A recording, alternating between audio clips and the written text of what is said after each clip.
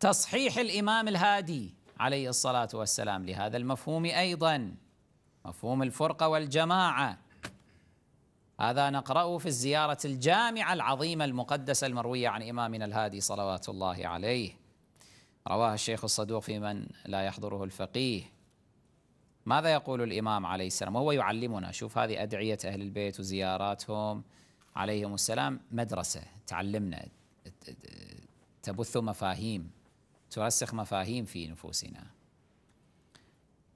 يعلمنا أن نخاطبهم هكذا لما نزور أهل البيت. نقول بموالاتكم علمنا الله معالم ديننا وأصلح ما كان فسد من دنيانا وبموالاتكم تمت الكلمة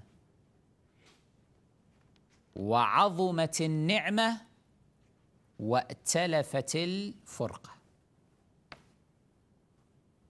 إذن الفرقة التي تأتلف ويصحح ائتلافها الشارع المقدس إنما شرط ائتلافها أن يكون بهم بالأئمة.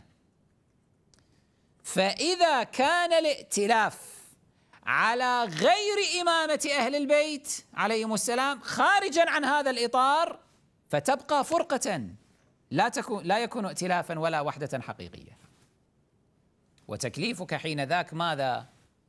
أن تبرأ إلى الله تعالى. من رموز تلك الفرقة؟ ومن اتجاه تلك الفرقة؟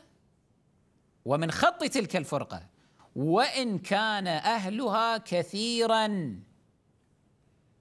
لا اعتداد بها في الشرع. لا تنخدع. لا تبهرك هذه الصور. لا تسقط في الفتنة الفتنة الحقيقية.